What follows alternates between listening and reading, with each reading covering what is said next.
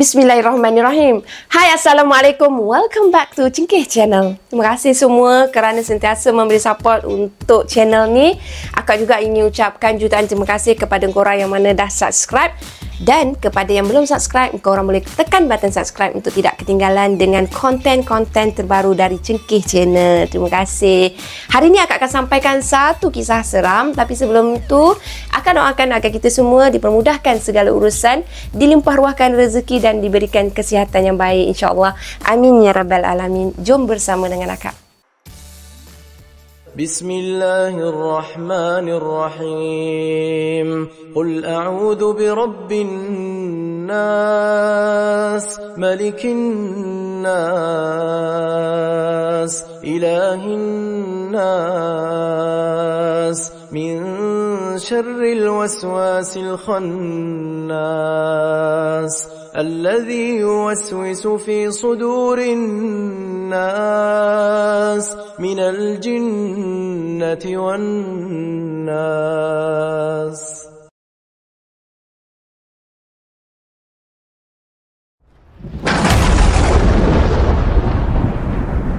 Sementara nak menunggu rumah mama dan juga rumah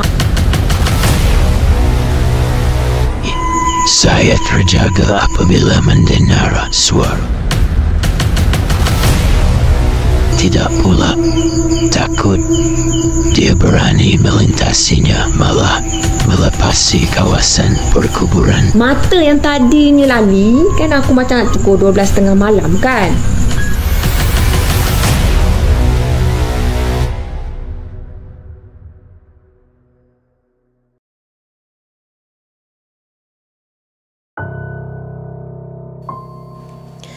Kisah ni dialami oleh seseorang yang akak gelarkan sebagai Udan. Ha, jadi Udan ni dia nak sangat sampaikan cerita ni. Sampaikan dia cakap, akak tolong ceritakan pengalaman saya ni kak. Akak pun jawablah, baiklah Udan. Akak berterima kasih pada Udan kerana sudi share pengalaman seram ni kepada Cengkeh Channel. Ceritanya macam ni. Udan ni merupakan seorang pemuda yang sangat nakal. Walaupun dah 2 tahun dia habiskan SPM, dia still juga malas bekerja. Itu bukan nakal tau, itu memang saja cari pasal. Walaupun mak dan ayah dia selalu nasihatkan dia untuk ikhtiarlah Udan cari kerja, pergilah cari kerja. Tapi Udan ni tetap juga memilih untuk relax-relax je dulu. Nak buat apa? Lekas-lekas sangat cari kerja kan? Nanti dia carilah kerja. Ha, itulah jawapan yang diberikan setiap kali mak dia bertanyakan perihal kerja. Akhirnya Udan ni dia cubalah juga cari kerja tapi malas punya cerita Udan tetap juga tak dapat peluang kerja. Dek kerana bosan dengan letiran mak dan ayah dia, makanya Udan ni dia memilih untuk lebih kerap melepak bersama dengan kawan-kawan dia.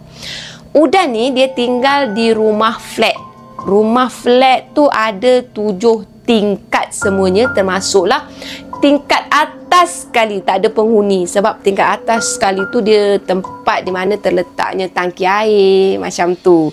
Jadi Udan ni dia tahap kenakalan dia ni kadang-kadang melampaui batas. Sebab pot melepak dia tu termasuklah di tingkat atas sekali tu. Kata dia tempat tinggi boleh hilangkan stres sebab mak dia tak berani nak naik ke atas tu. Walhal kawasan tu adalah kawasan larangan untuk naik terutamanya kepada kanak-kanak sebab bahaya kan. Mak dia sebenarnya sangat trauma tau nak naik kat situ. Sebab mak dia pernah cuba nak pergi carikan si Udan dekat situ tapi yang mak dia jumpa masa tu bukan Udan dah, bukan mak dia jumpa kelibat kanak-kanak tak berselipar. Berjalan dekat situ dalam keadaan tak berbaju. Apa kebendanya budak nak pergi buat kerja naik ke atas dengan macam tu gaya sekali? Ha budak tu hanya berseluar pendek sahaja. Berkeliaran dekat atas tu seorang-seorang je. Ah berani dia. Penghuni lama bagi tahu masa mula-mula bangunan tu dibina ada seorang kanak-kanak ditemui mati dibunuh dan dicampakkan ke dalam tangki air dekat atas tu. Disebabkan Mak Udan ni dah melihat kelibat kanak-kanak tu dan dia juga dah mendengar kisah tersebut Menyebabkan mak udan ni dah tak berani dah nak naik kat situ. Kalau udan lepak kat situ, sorry, dia takkan naik. Ha, sebab dia tak sure udan memang lepak kat situ ke tak. Tapi dia takkan naik. Ha, tapi tak pada udan tau dengan kawan-kawan dia. Stay juga lepak kat situ. Ha, dia orang tak reti takut. Lagi seram cerita yang disampaikan maka lagi beranilah kononnya si Udan dengan kawan-kawan dia time tu. Mereka ni ibarat macam alah aku nak tengok hantu apa. Ha macam tu mencabar. Mereka saling mencabar diri untuk melepak dekat atas tu tau. Sehinggalah satu hari Udan dia dah turun dari tingkat atas tu dan dia dah balik pun kat rumah dia. Tapi tanpa dia sedari dia tak perasan ada seseorang yang dia tak kenal ekori dia. Udan masa tu dia dapat rasakan macam ish ada bayang ada ada someone ni ekori aku ni. Kita boleh rasakan benda tu tambahan pula kawasan bangunan yang uh, rumah flat yang sempit macam tu kan memang kita boleh rasa aura dia. Udan masa tu dia tengoklah ke arah seseorang yang sedang ekori dia. Rupanya dia dapat melihat seorang kanak-kanak tau sedang mengekori dari belakang. Dan kanak-kanak yang sama juga yang mana Udan telah dihadiri dengan seseorang dekat atas siapa yang datang pada Udan masa dia tengah melepak. Dia macam ni. Kanak-kanak yang sama tu juga, dia dah balingkan satu bola ke arah tempat mereka melepak dekat tingkat atas. Jadi masa tu Udan, dia nampak bola tu datang. Datang dekat dia kan. Dan dia nampak budak tu sedang berdiri dalam keadaan macam terkebil tau. Nak ambil bola tu. Jadi Udan, dia bagi balik semula bola tu dan dia suruh budak tu turun dekat bawah jangan kacau dia nak melepak. Uh, jadi Mak Udan ada ingatkan pada dia hantu kanak-kanak yang Mak Udan nampak tu tak pakai selipar dan tak pakai baju. Jadi Udan dia menerima baik perkenalan dia dengan kanak-kanak tu yang balingkan uh, bola tadi sebab Udan dia tak boleh nak berfikir secara uh, macam uh, itu hantu ke hantu ke. Ha, dia memang dia tak dia tak fikir macam tu. Sebab budak tu berpakaian macam kanak-kanak biasa tau. Kanak-kanak lelaki yang normal, yang sedang main apa semua tak menampakkan atau menjelaskan seperti karakter yang diceritakan oleh Mak Udan. Tapi dia ada juga terfikir, macam mana budak tu boleh naik ke atas eh? Kawasan tu terlarang. Malahan pintu dekat atas tu sebenarnya berkunci. Tapi Udan dengan kawan-kawan dia ni memang terror bab-bab sabotaj kunci ni. Mereka boleh masuk. Cuma macam mana budak tu boleh masuk kawasan tu? Mereka tak berfikir ke secara waras budak tu buat apa kat situ? Tiba-tiba pula naik dekat situ main bola kat situ. Tapi Udan tak pernah nak berfikir perkara tu pada saat tersebut untuk penduduk dekat rumah flat tersebut mereka sebenarnya dah bising dah pada mak si Udan ni pada ayah si Udan ni. Anak kamu tu main sampai ke atas melepak sampai ke atas kan? Apa jadi bahaya dekat atas tu kita tak tahu banyak benda kita dengar. Macam-macam leteran lah yang mak Udan ni dengar. Tapi satu pun bila disampaikan kepada Udan tak masuk dalam kepala Udan tau. Udan tak kisah nak dijadikan ceritanya kanak-kanak yang dia baru kenal pada malam tu malam yang dia nampak kanak-kanak berdiri ekori dia tu dah ikut dia balik rumah. Betul memang dah ikut dia balik rumah. Masa nak balik rumah tu Udan tanya rumah adik kat mana? Tapi kanak-kanak tu tak jawab. Dia hanya tunjuk dekat atas. Maknanya dekat loji tu lah kan apa yang Udan boleh berfikir? Dia tanya rumah kat mana tapi dia tunjuk kat atas Udan jadi pelik tau. Mana ada rumah dekat atas tu? Tapi mental jenis nakal ni selagi tak bertemu buku dengan ruas, dia takkan ada rasa takut. Jadi Udan terusan bertanya pada kanak-kanak tersebut. Tak nak balik rumah ke dik? Dah nak dekat senja ni. Nanti mak ayah mencari. Ha, kejadian tu berlaku betul-betul senja. Maknanya Udan tu pergi melepak dekat atas tadi sebelum maghrib. Jadi sekarang ni dah melarat masuk dekat dengan maghrib. Uh, macam tu lah. Dalam pukul 6.45 minit petang macam tu. Itu time kanak-kanak tu ikut Udan lah.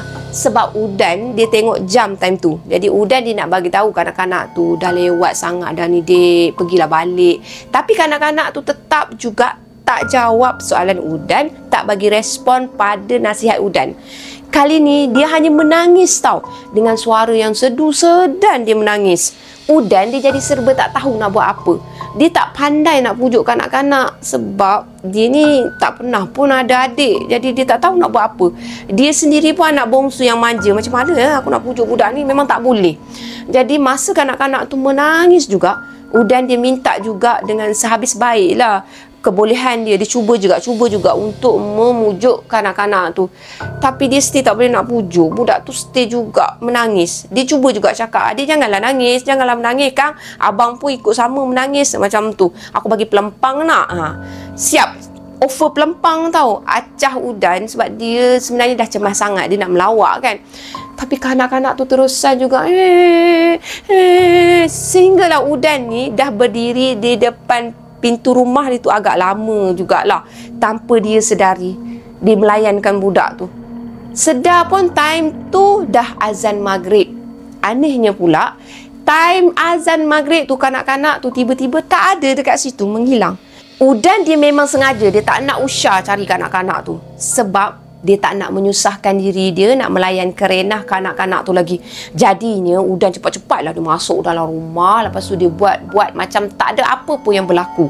Langsung dia tak bagi tahu pada mak dia perihal kanak-kanak tu Ayah Udan time tu dia kerja luar kawasan. Memang kalau ayah dia kerja jauh-jauh, ayah dia tak akan balik rumah. Jadi Udan je lah dengan kakak dia yang ada dekat rumah tu untuk temankan mak dia time tu. Dua lagi kakak dia ni masing-masing dah kahwin, dah tak ada dah tak ada kat situ kan. Masing-masing ada anak, dah pindah keluar. Jadi Udan biasanya dia balik sebelum maghrib.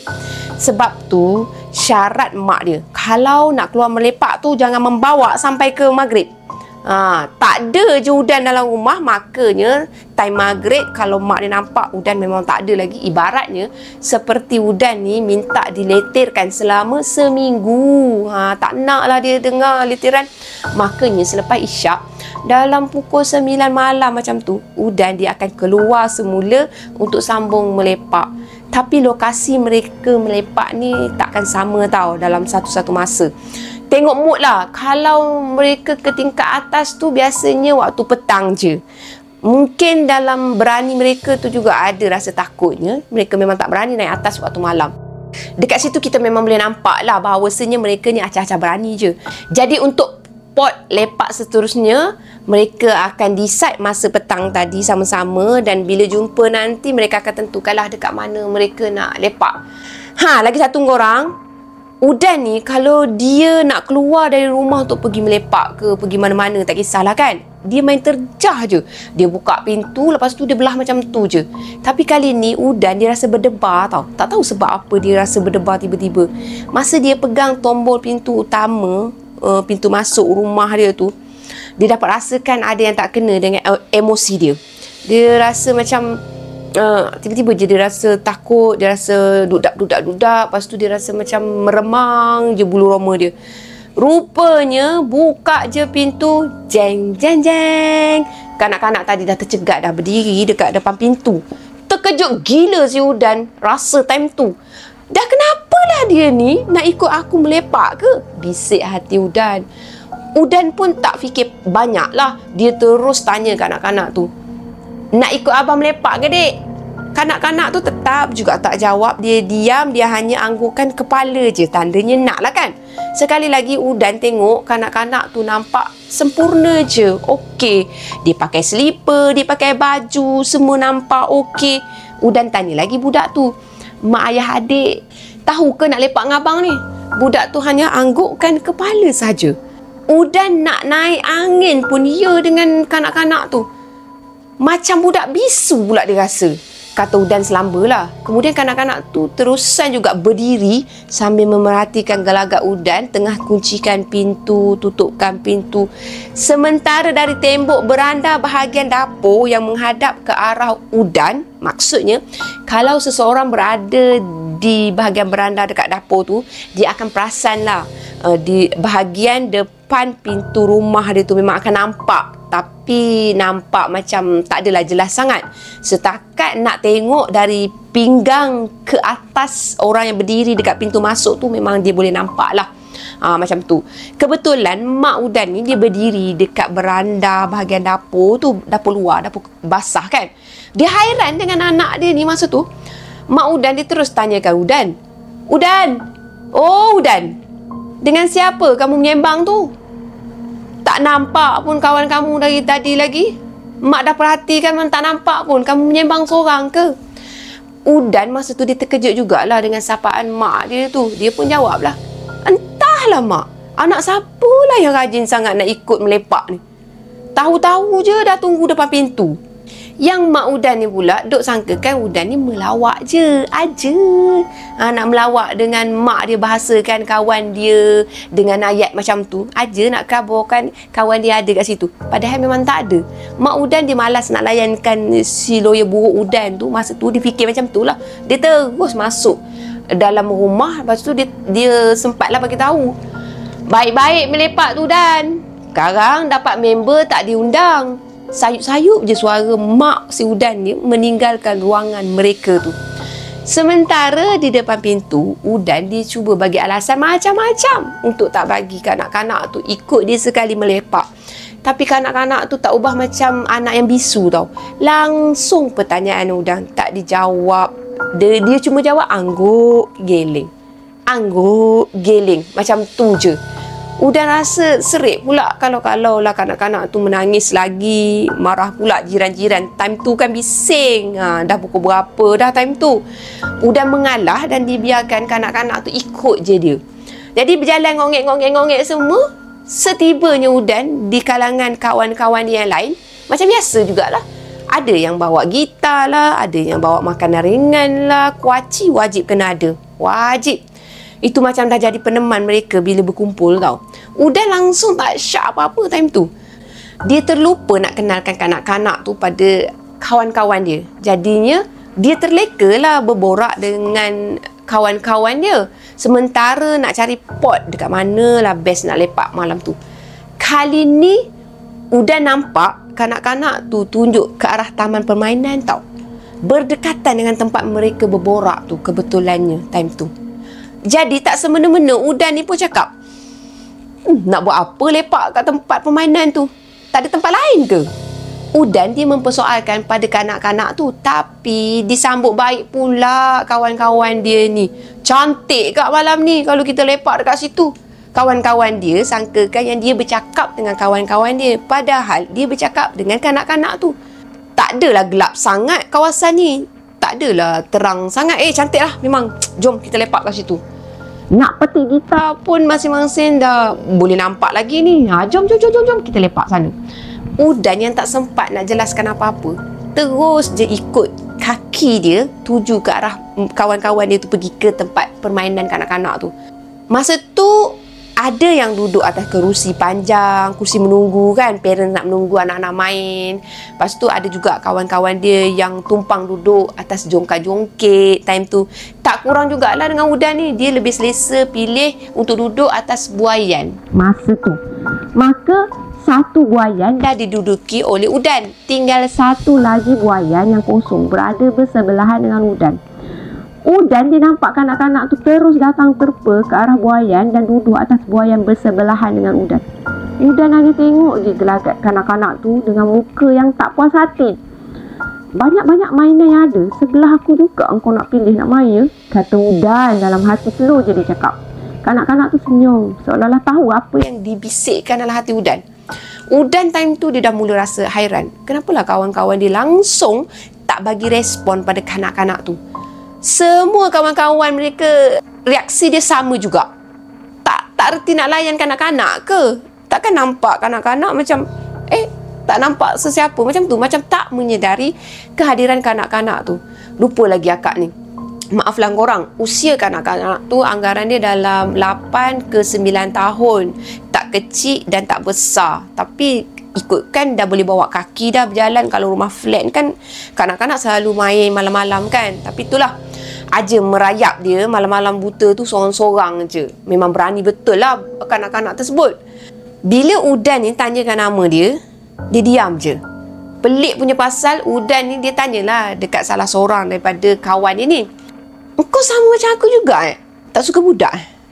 Kawan Udan pun jawab, eh aku pantang jumpa budak. Aku suka sangat lah kalau dengan budak ni. Aku pertama sekali aku memang suka sakat lah. Memang aku sakat kau-kau. Sambil ketawa kawan Udan tu jawab macam tu.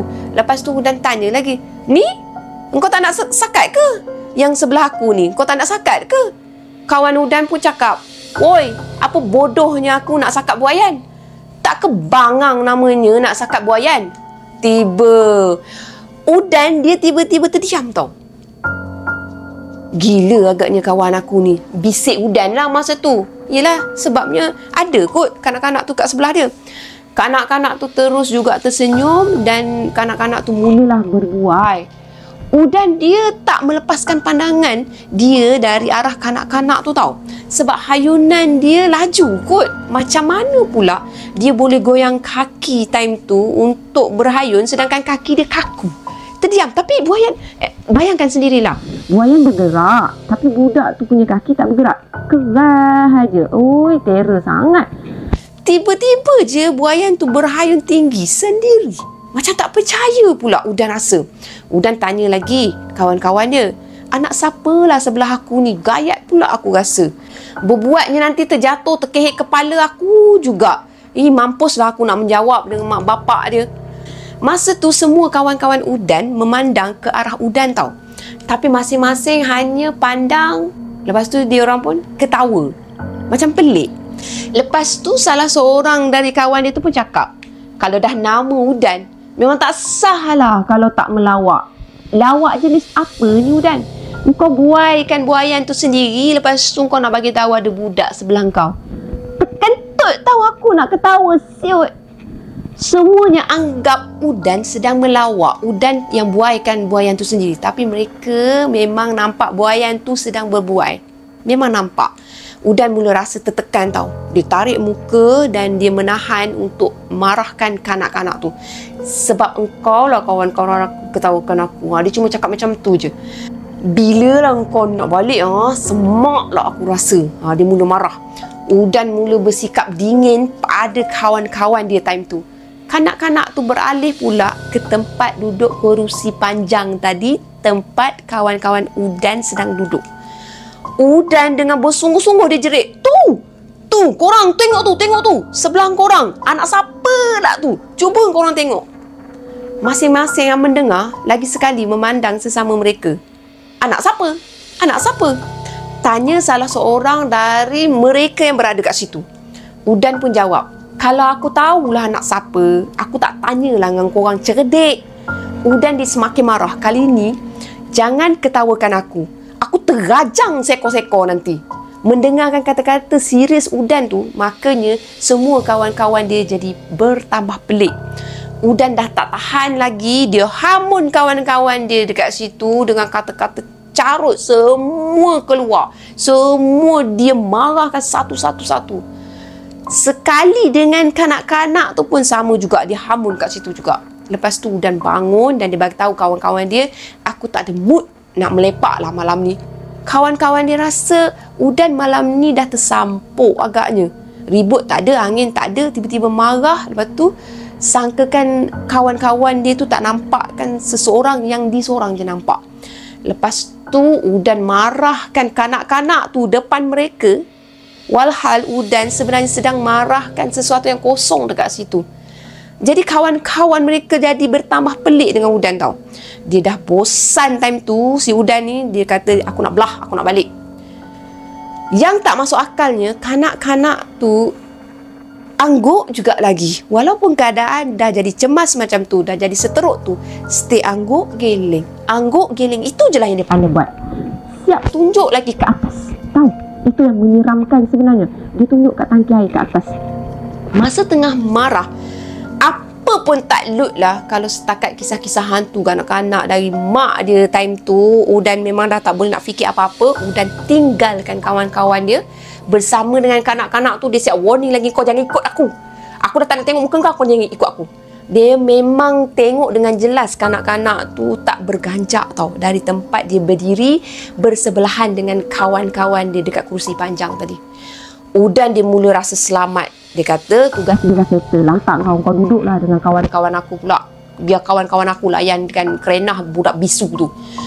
Sepeninggalan Udan pada mereka ni, kawan dia sempat mengumpatkan Udan. Kata mereka lah, Udan ni degis macam eh kerja malas lah apalah semuanya nak minta dengan kita belanjakan dia je ha, time tu lah mulalah kawan dia tu fikir buruk pada pada Udan ni tau elok pun malam ni dia belah awal Sebab kawan-kawan dia tu nak keluar makan ramai-ramai nak lepak kat kedai mamak tak payah bawa dia. Dia bukan bawa duit pun. Tanpa mereka sedar, kanak-kanak tu masih bersama dengan mereka. Mereka terusan juga berborak dan akhirnya salah seorang dari mereka telah ternampak ada seorang kanak-kanak tak pakai selipar dan tidak berbaju berada bersama dengan mereka time tu. Makanya menjeritlah si kawan yang nampak tu dan lintah pukanglah mereka semua dekat situ tinggalkan kawasan tu mereka lari tak cukup tanah tau. Yang pasti mereka dapat jelaskan bahawa apa yang mereka dengar dari penghuni kawasan tu dengan mak si Udan tu betul. Memang mereka nampak perkara yang sama. Kanak-kanak tak pakai selipar, tak pakai baju. Masing-masing menceritakan perihal yang sama, benda yang sama. Jadi kelibat kanak-kanak yang menyeramkan tu dah mula dilihat oleh kawan-kawan Udan. Selepas tu, mereka ni tak berani tau nak keluar lewat malam ataupun waktu malam untuk melepak. Silap-silap hari bulan, mereka ni boleh bubarkan terus grup melepak mereka ni. Masa masing-masing duk lari lintang pukang tu, adalah seorang pula dia tersadung kaki dekat satu objek. Objek tu memang dia tak ingat apa bendanya. Masa tu seingat dia, dia terjatuh dan dia nampak dengan jelas kanak-kanak yang tak berselipar dan tak berbaju tu melangkah mendekati dia. Takut punya pasal, sakit pula kaki time tu, dia tak indah kan, dia tak kisahlah. Kawan udang tu tetap juga gagahkan diri dia untuk lari tau. Tapi malang bagi dia sebab kanak-kanak tu dah pegang tangan dia. Serius lah. Tangan kanak-kanak tu keras macam batu, memang sejuk macam ais tau rasa macam pegang rangka pun dia sebab rasa keras-keras macam tu sebab apa yang dia rasa time tu tak ubah macam apa yang dia pegang masa masuk makmal sains dekat sekolah dia kan ada rangka dekat sekolah makmal sains kan dalam makmal tu memang dia terbayangkan lah kerangka tengkorak semua dia terbayang dah dia dah nampak pada hantu yang diceritakan macam mana agaknya kawan si Udan ni nak lepaskan diri dengan hantu macam tu Masa itulah dia menyebut kalimah Allah. Ya Allah, Ya Rahman, tolonglah aku. Dia sebut-sebutkan. Dengan sekuat tenaga dia sebutkan, maka tenaga yang kuat tu, yang sekuat hati tu digunakan untuk melepaskan diri dia. Kawan Udan tu berjaya lari tapi sakit yang dia tersadung tadi memang terasa sangat membuatkan dia lari agak macam terbatas jugalah. Masa tu kanak-kanak tu bergerak seiringan dengan kawan Udan tu sambil ketawa kawan udan tu dah tak boleh dah nak kontrol diri dia. Dia pensan terjelepuk tubuh dia. Dia rebahkan dekat situ juga. Sebab dia dah tak mampu dah nak tengok rupa kanak-kanak tu tambahan pula kanak-kanak tu ketawa clear gila dekat telinga dia. Dia memang dah tak tak boleh nak buat apa dah. Tak tahu dia pun tak tahu macam mana dia boleh terjelepuk kat situ boleh pensan kat situ Sedar-sedar je kawan seudang ni sebenarnya dah dikelilingi dengan orang ramai. Ha, lega lah time tu dia rasa sebab hantu budak tu dah tak ada dah. Kawan udan tekad tau. Dia tak nak dah keluar malam-malam dah lepas ni. Ada batasannya kalau kita ni nak melepak. Ada tempat boleh melepak dan ada yang tak boleh melepak. Kata Udan menyambung cerita dia. Makanya malam tu riuh lah flat mereka tu ramailah yang bercerita bahawasanya kawan si Udan tu dah pensan dah diganggu dek hantu tu. Tapi Udan tak berminat nak ambil tahu. Kebetulan dia rasa tak ada berkaitan pun dengan dia. Dia dah marahkan kawan-kawan, dah bengang dengan kawan-kawan dia. Buat apa dia nak menyebut? Udan dia nak tidur awal malam tu dalam pukul 12 ngam. Ha, dia memang tekad dia nak tidur. Tapi alangkah terkejutnya dia, kanak-kanak tu dah berdiri dekat hujung kaki dia. Melompatlah si Udan ni terkejut. Dia marahkan kanak-kanak tu. Siap bagi tahu baliklah dah malam ni. Macam mana kau boleh masuk rumah aku ah? Ha? ha, dia tanyakan pada kanak-kanak tu. Dia tetap juga tak jawab si kanak-kanak tu tetap berdiri lepas tu tegak kat situ je. Keadaan ni membuatkan Udan rasa lagi takut sebenarnya. Sebab renungan kanak-kanak tu penuh dengan kemarahan tau. Udan dia meracau dekat situ. Dia menyebut, engkau ni spesies apa ah? Masuk rumah orang sesuka hati je. Pergilah, pergi berambus. Baliklah. Udan menjerit-jerit melepaskan kemarahan dia pada kanak-kanak tu. Kanak-kanak tu tetap berdiri dekat hujung kaki dia. Udan disepak-sepakkan hujung katil dia. Udan semakin teruk meracau yang bukan-bukan hinggalah mak Udan ni terpaksa panggilkan ayah Udan balik dengan segera tau Bila ayah Hudan balik, mak dengan ayah Hudan cari-carikan ustaz lah untuk untuk bantu Hudan pada waktu Hudan terpaksa diikat dekat katil. Sebab dia memang meracau tendang terajang semua tangan semua memang dah macam lipas macam tu. Jadi bila ustaz tu datang ternyata segalanya dia permudahkan. Alhamdulillah Udan dapat diselamatkan time tu. Dia dapat diredakan daripada keadaan dia macam tu dan dia semakin okey dan selepas tu Udan tetap didatangi kanak-kanak tu tahu Sehinggalah ustaz tu dia berdepan dengan makhluk tu dia minta supaya makhluk tu tinggalkan kawasan rumah Udan. Jangan ganggu pada penduduk dekat situ. Ha, jadi ustaz tu berinteraksi dengan hantu tu jadi Udan dah kembali kepada yang asal barulah Udan ni dah tak diganggu lah dengan makhluk tu. Ustaz yang berubat Udan tu dia berpesan nasihat orang tua ni dengar jangan degil sangat kalau dilarang berkumpul dekat satu-satu kawasan tu makanya janganlah bahayakan diri pergi ke kawasan tu kawasan tu kawasan larangan jangan nak ikut rasa hati nak pergi je ingat tak diuji dengan penjenayah, mungkin diuji dengan makhluk lain. Lain kali, fikir sebelum buat. Memang ada yang mengikut Udan balik rupanya. Menyesal gila Udan masa tu sebab dia tak dengar cakap mak dia. Dia sebaliknya dia boleh macam ngejekkan mak dia tak boleh naik atas, tak boleh cari dia kan. Ha, lepas tu dia tekad dia nak cari kerja elok lepas tu dia tak nak lah nak kurangkan melepak ni. Kalau dia melepak pun dia ada time dia melepak tu janganlah lama sangat apa semua. Banyaklah perkara yang merubah diri Udan selepas tu. Dan kenangan tu jadi kenangan yang sangat suka untuk dia lupakan pada dia satu-satunya perkara yang berlaku mesti ada hikmahnya. Dan hikmahnya mereka dah takut nak melepak. Sekian sahaja untuk kisah pada kali ini.